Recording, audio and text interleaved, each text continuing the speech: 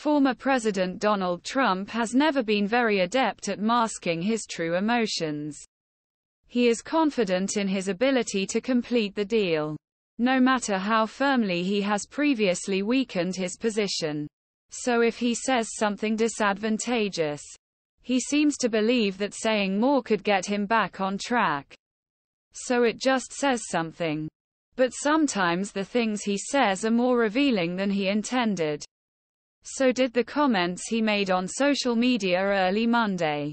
The post on Truth Social included many of standard accusations and complaints his rivals for 2024 Republican nomination were bad for a variety of reasons.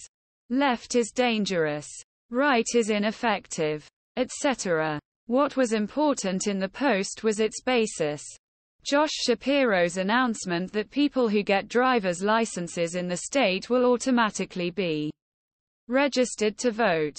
Radical left Governor Josh Shapiro announced the switch to automatic voter registration, which is a disaster for electoral Republicans, including your favorite President M.E. Trump wrote, This is a completely unconstitutional law and should be met harshly by the Republican leadership. In Washington and Pennsylvania, H has said similar things before. But that was before his breathtaking effort to retain power despite losing that year's presidential election. His unsubstantiated claims about the threat of in-mail ballots were not exposed. Even though he insisted that they were. But with no credible evidence of widespread he and his allies changed their rhetoric perhaps the problem not that was occurring but rather that the system rigged against him.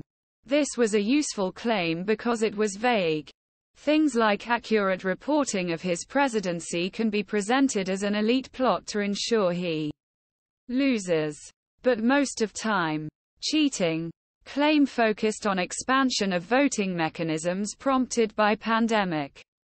Trump and his allies, such as attorney John Eastman, opposed Pennsylvania's efforts to make voting mail easier as an unconstitutional handicap of sitting president.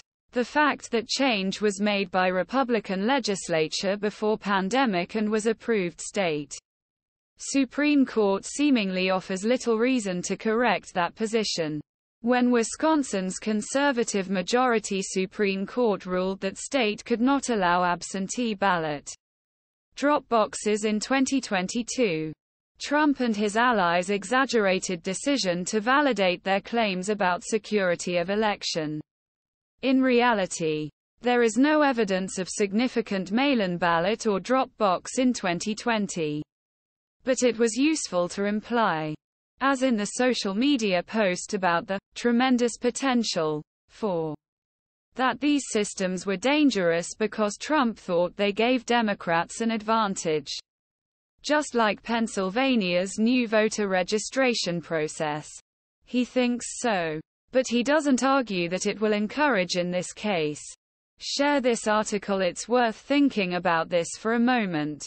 Trump is simply saying that increasing the number of registered voters would be bad for his party. He and his allies will arguably pile on some P.